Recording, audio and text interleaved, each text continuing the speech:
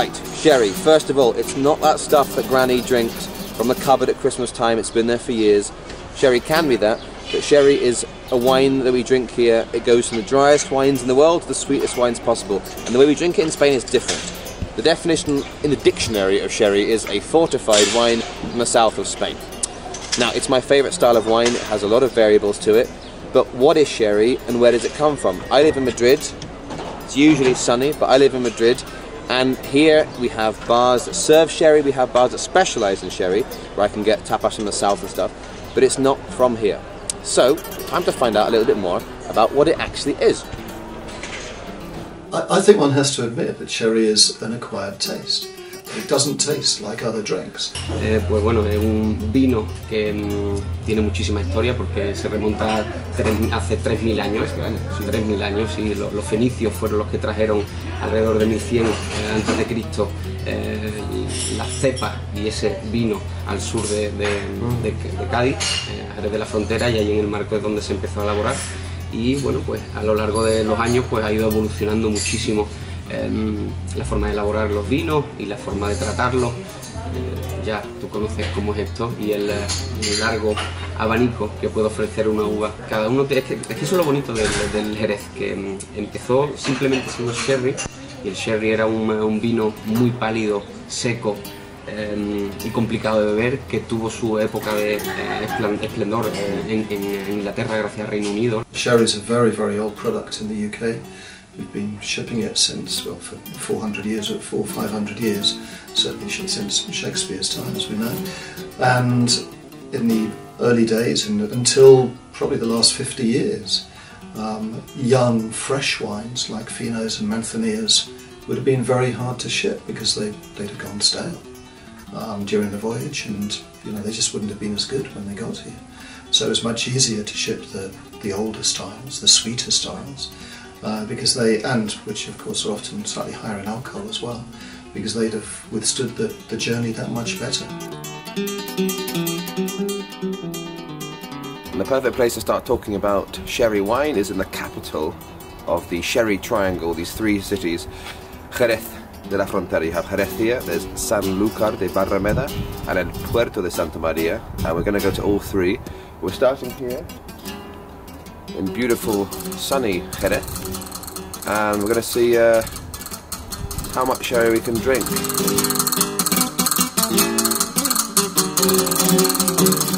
can't go to Jerez without going to González Byass, which is one of the oldest and most important, by a long way, winemakers here. And we've got somewhat VIP access, so we're going to learn what makes sherry sherry in the most important winery around here.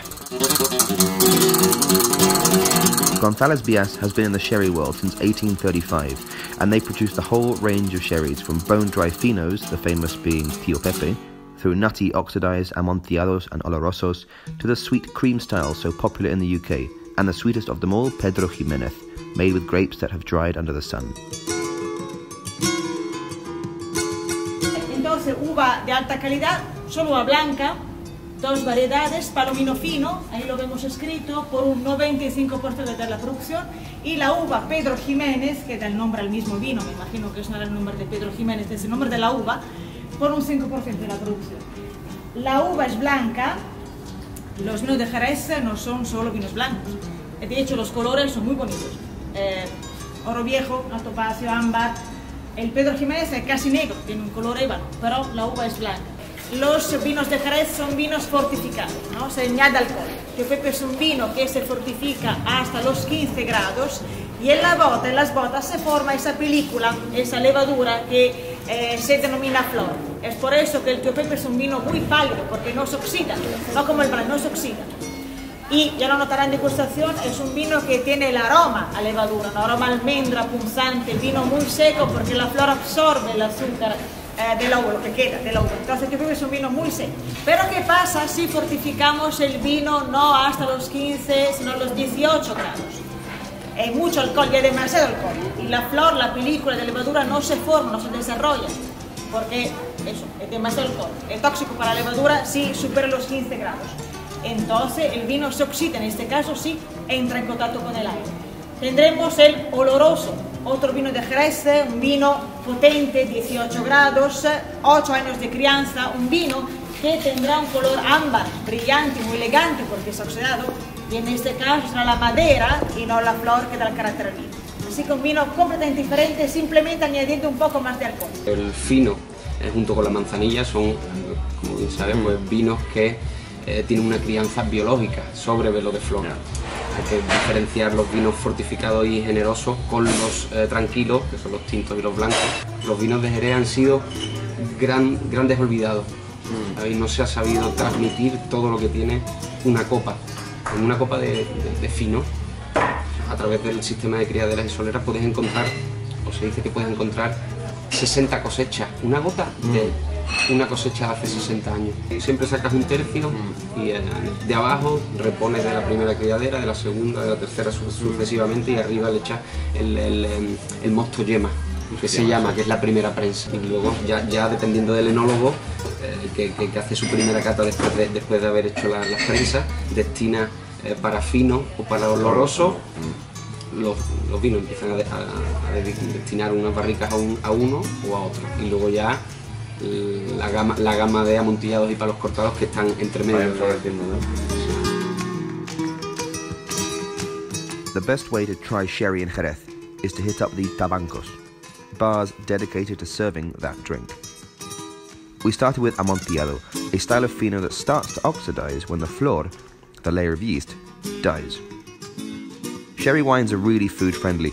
Cold white finos with fried balls of marinated dogfish, nutty oloroso with slow cooked beef cheek. We also couldn't forget the mysterious palo cortado style, a sort of ambiguous type of fino that starts to oxidize like an oloroso in an unplanned way. The tabancos are the lifeblood of the city and are a perfect way to while away the long nights, especially when the flamenco starts up.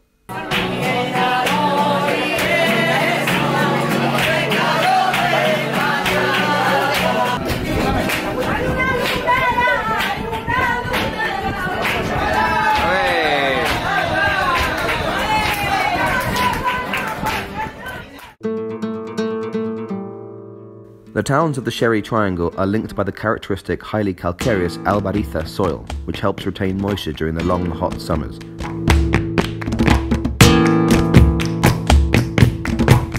El Puerto de Santa Maria, with its cutesy castle, is a humming port town that rests on the open banks of the Guadalete River.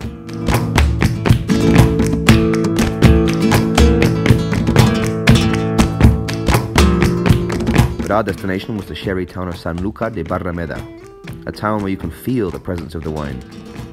This town was the home of manzanilla, a style of wine similar to fino, which can only be produced there.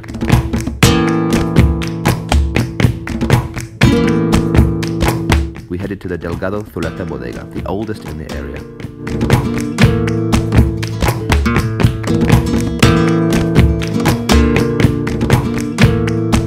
Pues nada, la, la diferencia entre fino y manzanilla está principalmente en que la- eh, el velo de flor que cría tan- ambos vinos, aquí en San Lucas se mantiene todo el año, cubriendo la, la manzanilla y protegiéndola del oxígeno, y en Jerez, por ejemplo, ese velo de flor, tanto en verano como en invierno, se queda más fino, puede llegar a crear calvas y por ahí entra en contacto con el oxígeno. De ahí que sea allí fino y aquí manzanilla. ¿Esto qué hace al vino entonces? Pues que se oxide, que se oxida. Vale, pues es más ligero aquí, ¿no? Por eso sí, As with all the towns in the area, Sanlúcar shows off the culinary side of sherry. Not Granny's sweet after dinner drink, but a wine to have in the crazy busy bars with crispy tortillitas de camarones the shrimp fritters, or marinated potatoes topped with cured tuna fish.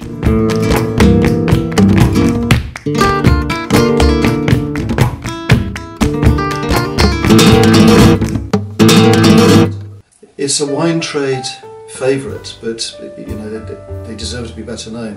It is one of the, the undiscovered gems. ¿Sabes? No pensé, aun viniendo de una familia bodeguera, no pensé nunca que me fuese a dedicar a esto. Pero realmente cuando te, cuando te metes, mm, te agarra y es imposible soltarlo. No, no, no te suelta, no te deja ir. So that's sherry. Basically, alchemy in a glass, an ageless drink from the south of Spain that goes from the driest to the sweetest and is made in its own unique way. All that leaves me to say is drink as much of it as you can and uh, salud.